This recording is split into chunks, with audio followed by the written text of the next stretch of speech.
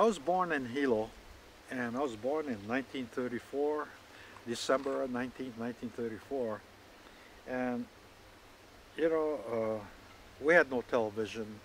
Back in those days, we had uh, newspapers, but uh, and also radios, and that's about it. And as a form of entertainment for us youngsters, were you know to go to the beach, and we always hung around the Keaukaha area, and they had a lot of brackish water, and the ponds were very similar to this, which uh, you know we spent a lot of time oh swimming, fishing, doing all kinds of mischievous things when you're young. That always, uh, you know, kept me going.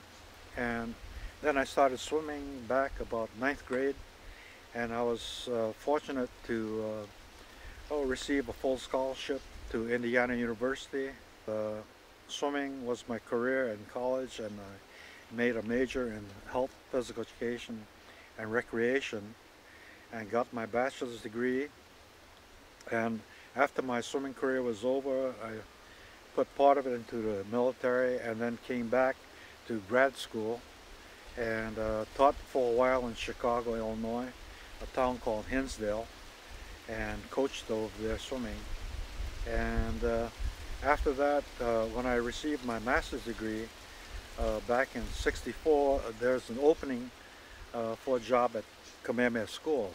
I, uh, I was able to get the job as a swimming coach and a teacher and uh, I've been there 33 years before I retired but in between those years uh, I spent a lot of time coming back here to this island because I used to love my diving and uh, I had a lot of friends you know to go out diving and we'd dive all over the island as much as we could and uh, thanks to friends of mine like uh, Punchikin, Castle Kailimai, uh, Roy Nagara. These were all legends of, of the sport here in Hawaii.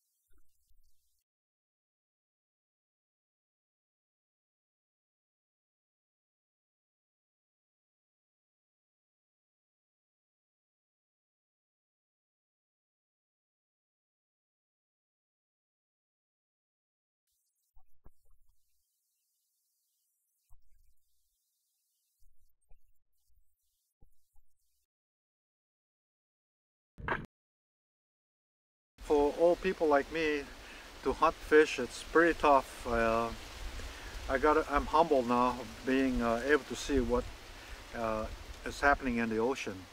Uh, the fish wasn't as tame as used to be. In fact, I thought I thought maybe I was a little smarter than the fish when I was younger, but now that I'm older, I find that the fish are way, way smarter than I am.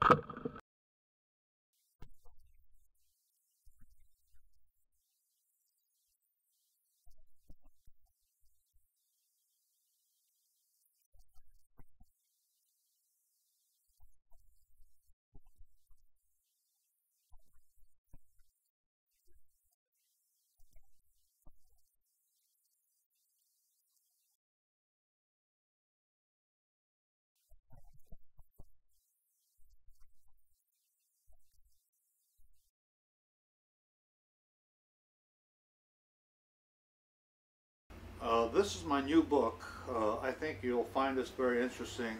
Um, it covers uh, the history uh, of spearfishing and how people actually foraged for uh, food and got into the ocean to uh, start getting fish and water in the water.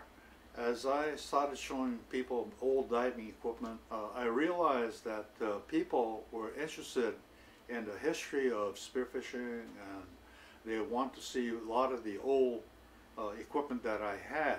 So this prompted me to do this uh, book. And, and then of course the emphasis will be on our uh, Hawaii spearfishing history uh, of our competitive divers and what it has gone to at the present time.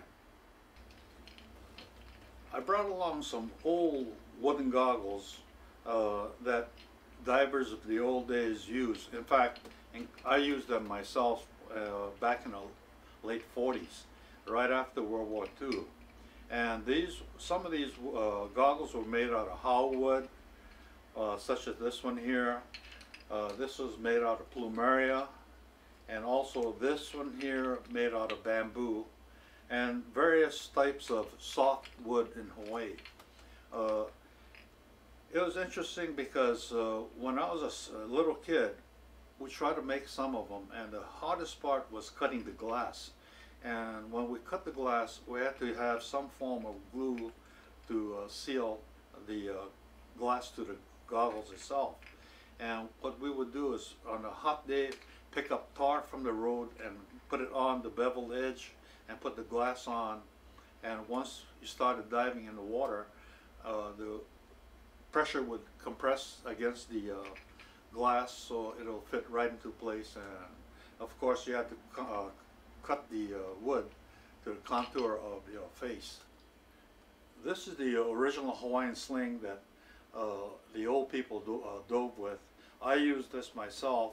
It was a very effective uh, spearfishing equipment. I remember Jack Ackerman back in 1953 when I was a senior in high school a speared 127 pound world record ulua with this type of uh, spear gun.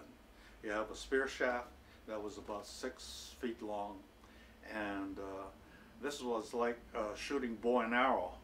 Uh, you'd aim at the fish and release and the rubber be uh, propelling the spear through the uh, stick itself. And this was a real effective tool back then. Of course, today you have high-tech guns and uh, very few people use them. This was the uh, old hinge gun and what what this is right here is an old hinge from the door. And they screwed it onto here and put the spear shaft through this hole and you'd cock the gun. And how, how it would be locked is that you'd push this forward. And uh, one of the thing about this was that uh, that you could use this for night diving very effectively because you had one flashlight in one hand and a uh, hinge gun in the other hand.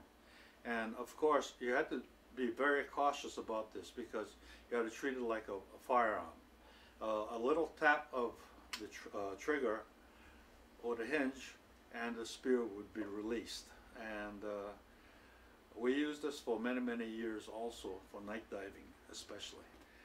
Here's another hinge gun. This is made out of metal and uh, also this is unique because the rubber that you see here uh, was a old, I think was an old refrigerator rubber that would, had a lot of elasticity and I noticed uh, here you have a short section for a long shot and this will be the long section here for the spear shaft would be for a cave, when you have to go in into a cave to shoot a spear gun.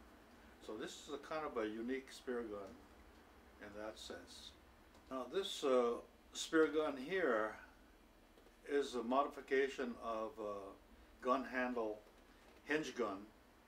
The hinge is located on the top here and the trigger in this section here. Put the spear shaft through here and uh, shoot it like a gun also. And this is kind of unique. I've never seen one like this and this was just given to me in recent years by Shinki Sakurai.